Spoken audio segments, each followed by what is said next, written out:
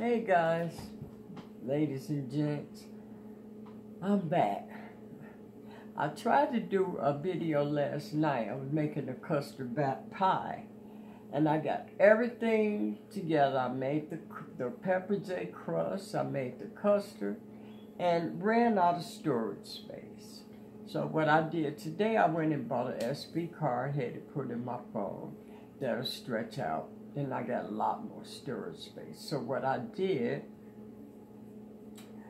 was uh, put the recipe together and I did uh, my own pie crust recipe which was, uh, here's the pie crust. We're going to get ready to roll it out.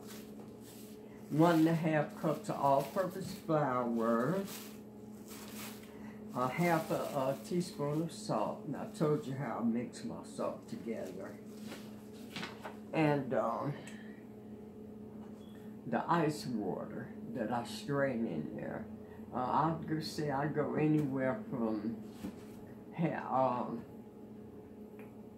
a quarter cup, maybe less. When I get in there with my fingers, I can feel my dough. And you want a Pyrex, a glass Pyrex pie plate to do it. Just set him right here until we get our dough rolled out. Okay. And of course, a stick of ice cold butter and I use maybe a quarter stick of a Crisco baking stick, which is just shortening, but a good one. And this is what we got. You can see the specks of butter and uh, shorten it through the dough. You know you're going to have a good dough because when that heat hit those pockets of butter and, and uh, shortening, it's going to make it um, stain. And that's how you get a really good flaky dough. So let's get it rolled out and get this pie in the oven. Uh-uh. Because I'm tired. I worked all day today. I'm tired. And we're going to do a second video. Because I found some uh, lake perch fish. And I'm going to fry that. It's going to be kind of hard at first to get this rolled out. But we're going to work with it. And I want some fried fish with a nice salad. I bought one at Walmart. I like that uh, uh, chicken and walnut with the apple and cranberry. But I like just plain ranch dressing. Okay. It's cracking on me because it's so cold, but it's dough. You can always just put it back together. Get that out of my way take it. Okay, making sure you keep this. And I did flour my uh, my uh, rolling pin. You definitely want to do that. But you don't want to use too much flour because you don't want to dry out your crust. I use some elbow grease ladies and gents, until you know you get the uh, crust at a good temperature that it wants to cooperate with you. Man, is really cold, which is good for a crust. I'll just keep, you know, turning it. Let's get there to get there.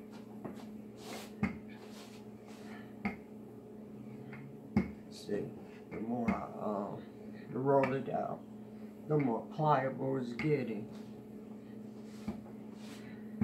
Don't worry about, see how it's cracking up there? You just put it right back together. That's all. It goes right back together. That's all you do. Like do a quarter turn. Keep going at it. Oh, this crust is gonna be a delicious crust. It really is. Okay, let's get rolled out here. Can you guys see all the speckles in there of butter and Crisco? Wow, that's fantastic. Really fantastic crust. And while we, let me stop for a second because I also got our custard made up. I made it up last night. And that consists of um, three eggs. Now, it says the recipe wants three quarters of a cup of sugar, but to me, that doesn't make it sweet enough. So that's like uh, a half and a quarter cup of sugar. I'll go ahead and put a whole cup so it's sweet enough. And I put a, a quarter teaspoon. I'll go ahead and put uh, a half a teaspoon of salt. I, I want to really have a good flavor of custard. I like flavor. And uh, I put a half a teaspoon of nutmeg. And uh, I put a teaspoon and a half of vanilla extract, remember? And two and a half cups of half and half milk. Let me, excuse me, let me get it. I want you guys to see this milk. And there it is. Yeah, you can whip this milk and, and uh, make whipped cream, of course, but if you over whip it, you come out with butter. That's how rich this milk is. Okay, we got a good crust here. Uh, I believe we got enough here. So what you do, you take your rolling pin, bring your crust up, and roll it over like so. Don't worry about tearing and all that, girl. That's nothing. Down there. Put it up there and unroll it right on your pat plate. There we go. And adjust it in there. No, because going to crimp it on there. Okay. Make sure you fit it in the pat pan very well.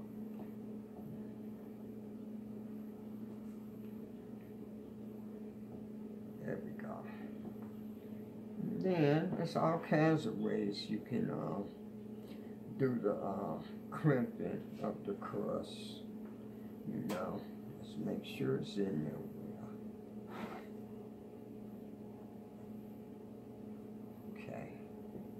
Now you can. Uh, let me grab a wooden spoon. Okay. Sit down here a second. In the meantime. I'm going to warm our custard because it's supposed to be warm before it goes into the oven. Get pot.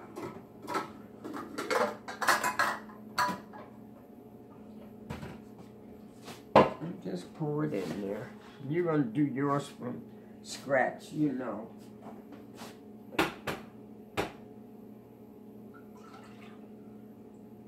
Make sure you get everything something at the bottom. Pour a little bit, I'm gonna pour a little bit back in there. get your heat on and start heating it. And get my whisk. I want everything out of there. All my seasoning, check. I ain't, I don't have nothing to wait. And you want it to taste good, so you need all the seasoning. There we go. And whisk it up go. Okay. Now that's warming. Let's get our crust together. Let's start where the crust is really overhanging and work with it. Now you can take your uh, handle your wooden spoon and just go like that and crimp it, you know, like so. But what I like to do is take it and tuck it under and just pinch it like that with your two fingers. you're still going to have excess. So you take that right off because some parts of it, as you can see, like here, you can take that extra crust and fix that part up. So just make it easy on yourself and it's going to look pretty. Just take your two fingers tuck it under and it. See. Okay. Nothing's perfect, it, and we do everything from scratch, so it's not coming off of a, a commercial build or anything like that, so nothing is gonna be perfect. Most you can get a knife and cut it off. Child, I'm gonna use my thumb. Just keep your extra crust and crimp and crimp, crimp. little piece right there, crimping it. Okay, crimp and crimp, crimp. And on, smooth it out, crimp. Take that excess off.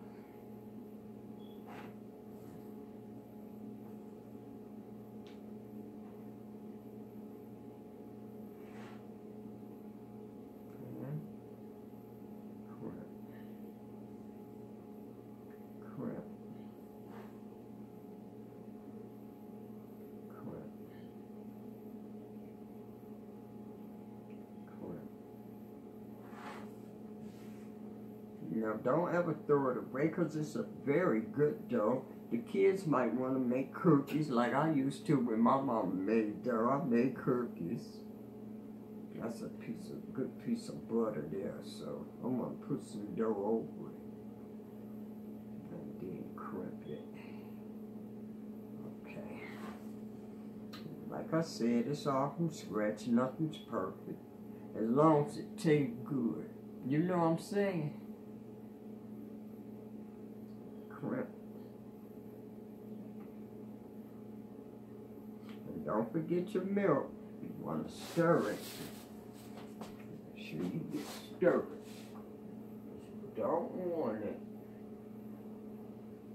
to scorch. If you scorch it, you got to start all over with the custard.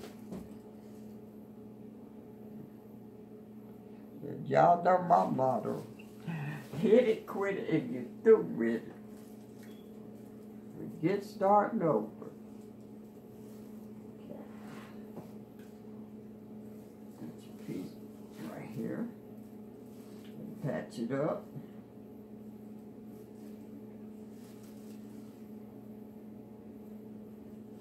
And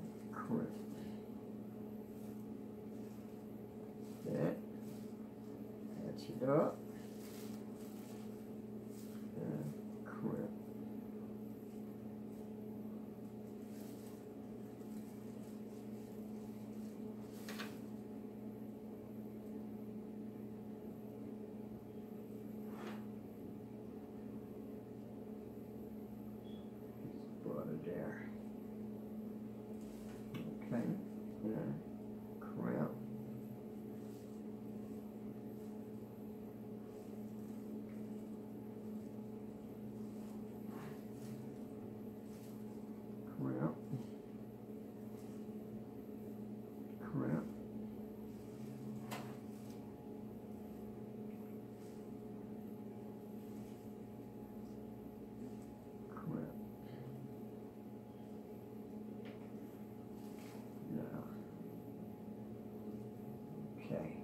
We won't have an overflow and a mess in the oven.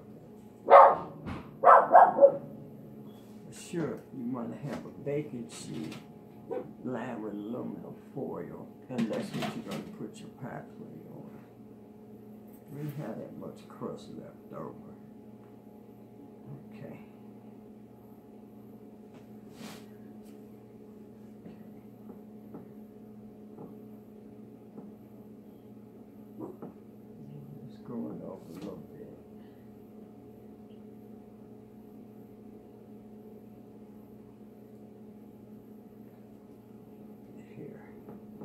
It out. Let's see. And crap. But I'm not selling this pie or anything. It's just for demonstration for you guys. And I'm showing you how to crib. You can take your time and make it perfect. I'm not. So, let me get my custard. Just want it to be warm through. You don't want to boil it at all. Just let it come to a simmer.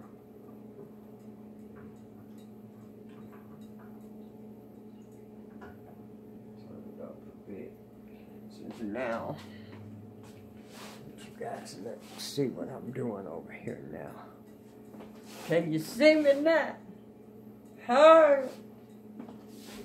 I'm just warming the custard. I'm to stir it. I sure do not want it scorch.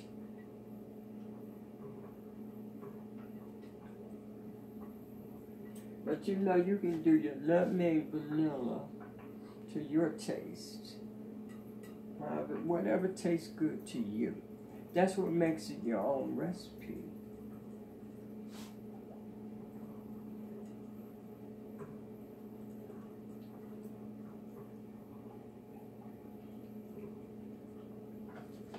Sneak it.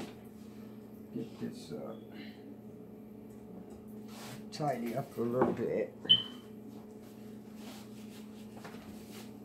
That's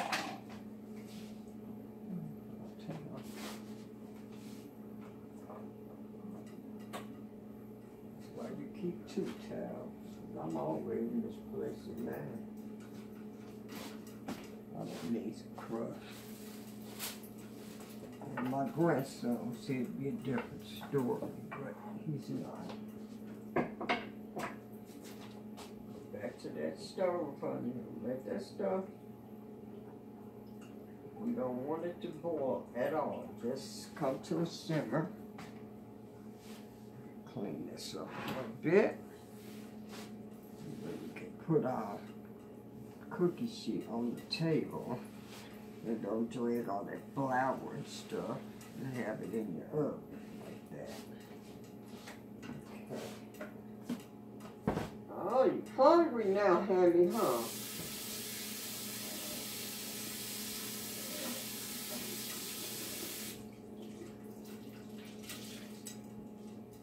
Okay. So we are here. And you want to sieve it. When you put your custard in your pie crust, you're going to sieve it. Make sure you don't have any cooked egg or anything. You want your custard to be smooth. Okay. Here. That in there. And I'm to tell you another secret I do. on there's my towel. Now.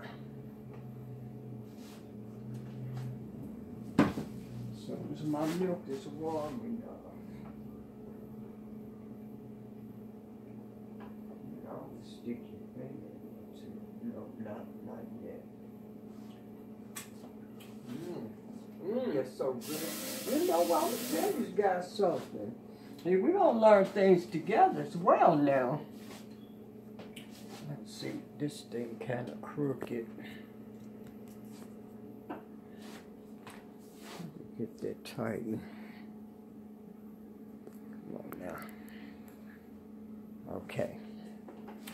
I've just discovered something. I put that custard in there overnight. Oh my. Wow, does it taste a whole lot better than if I just would have done it just now and poured it in the crust? Hmm. We just learned something. I think I prefer mine, do mine the, the day before and let it sit. It sure got a much richer taste. Sure does. Now come on here, left. Oh, okay. I'm seeing smoke coming up. So Let's get it turned off. We're ready now. Okay. And what I'm gonna do, instead of trying to take the uh, tray and put it in the oven full of custard, I'm gonna open that and grab my little oven mitt, pull the tray out, the uh, baking uh, tray out, and put our cookie sheet on there. You see, that way, see if I can get it so you guys can see it. How I'm doing it. See how I got it on here? You gotta use your head. You know what I'm saying? You, your head.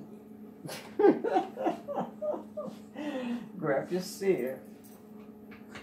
I need it. I'm gonna get some more sauces. Okay. And pour it in there.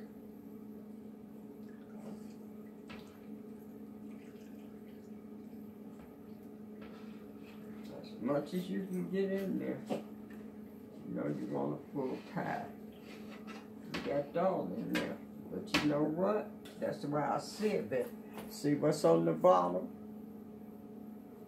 That's just like cooked egg on the bottom. But we still got a full pot. There we go. Now, there in there.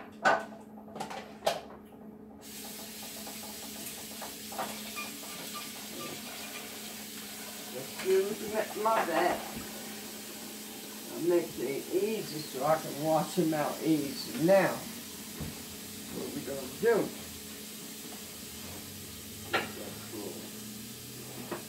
Okay. Now, here's the dirt where you gotta use your head again. Now, take your time, be patient. Get this right on in there. Very slowly. Don't want to waste it everywhere. Very slowly. Get it in there. No. There we go. We did it. How about that? Right on. Yay! And now, we're going to bake it. Of course, on wood, y'all. I told you. Most everything. Three, no, uh, I'm sorry. On this one is 400. And we bake it 25 to 30 minutes. Boy. This is going to be a treat. I'll see you in a little bit. See what we got. What we come up with.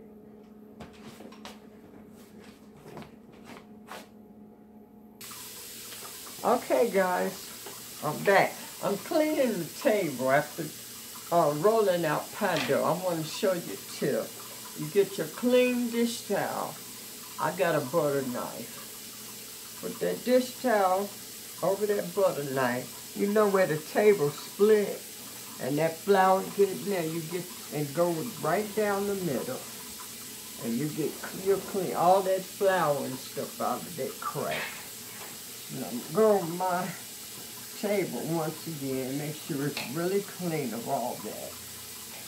And I'm putting down a, a cake rack so when my pie is ready and I take it out of the oven I set it on here and that keeps the bottom crust from going soggy. Now, I've decided we're also going to fry some fish. I want fish, but this is a special kind of fish. Let me show it to you. Here's my bag. See. It's called lake perch. Now, don't get it confused with that cheap red stuff called ocean perch. I do not eat that. They have your whole house stinking, the people next door house stinking. Just is not that tasty to me.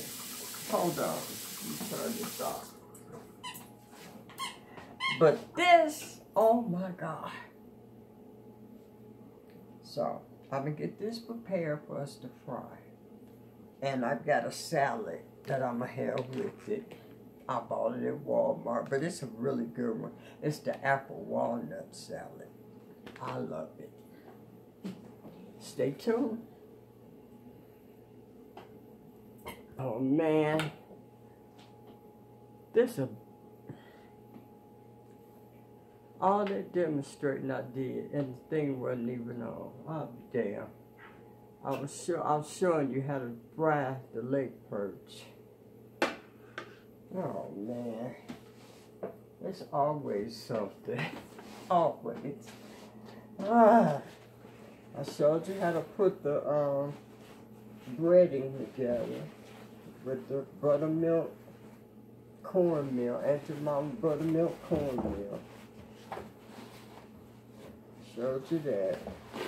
And some uh, onion powder, quarter teaspoon of salt, and about four turns of fresh ground black peppercorns. I use my uh, pepper grinder. Advise you guys to get one this is getting on my nerve, but it's not going to stop me, guys. I'm going to be here. I'm looking at the pan now. Let me see. I do believe it might be ready. Oh, boy. I thought the damn thing was on. It's very frustrating. This is very frustrating and it came out so beautiful. The fish came out perfect. I showed you how to fry it because the lake perch is so thin. You did. You fry it fast. Make sure your oil is very hot. I put in my cornmeal. Um, I'm just frustrated. But I can tell you. I put in my cornmeal, onion powder, garlic powder, salt and pepper, and that works out fine.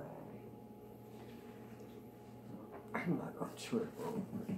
It came out delicious, and everybody, if you don't know how to fry fish, we'll fry more. Because like I was telling the young lady that asked about the fish I fried before with Adrian and Jamil, she called it silverfish, but it's smelt. S-M-E-L-T. And uh, I'm just going to, let me, uh, I believe my ready. Let me get that out. And I will be doing that video too. So don't worry about it. I'm not. And I definitely will be doing uh, lake perch. It's my favorite fish. So, okay. Let me get my cake rack. The reason I'm using the cake rack for pie is the fact I want to keep my crust uh, nice and crisp and flaky and it won't get a soggy bottom if you just put it on a, a cake rack. If you just set it on the table where it's hot, it can get soggy. And I hate that. I put too much work into it. So let's grab that out of here. Oh no. No, that's not ready give it a little bit more time. Let's see. Get you a, knife and stick in there. And it didn't come out clean, see? So you give it a few more minutes. It's almost there though. But that crust. Mm-mm. Be ready in a couple minutes. Meantime in between time. I can't wait to get into that.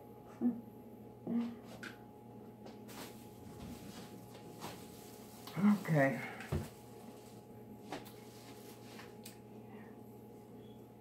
Oh boy, my back killing me, y'all.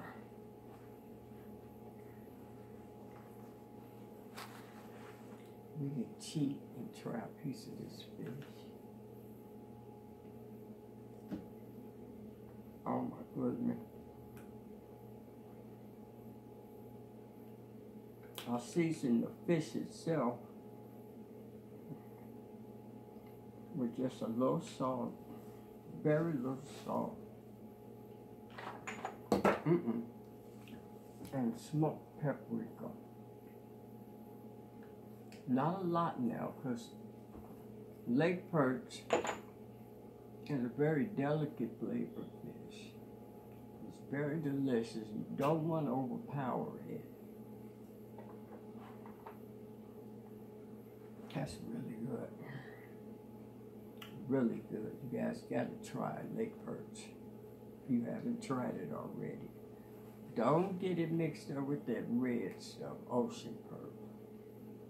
Yeah, everybody house stink. People next door house gonna stink. Told you.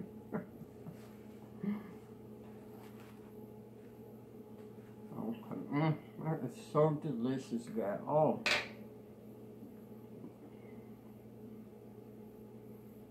I'm gonna go back to that store I got it from. Mm.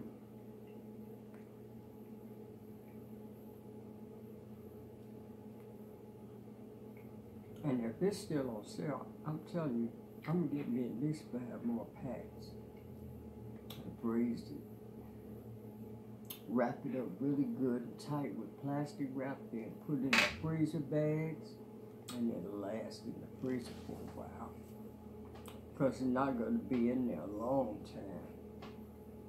I'm telling you, that's how much I love it. Okay, let me fix my plate.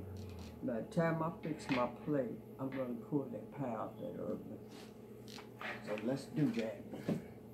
Just sit this back here. No. Set it over here now. Here's my bag. Get rid of this. Oh! I'm excited, guys. I got to show you my new high-tech garbage can.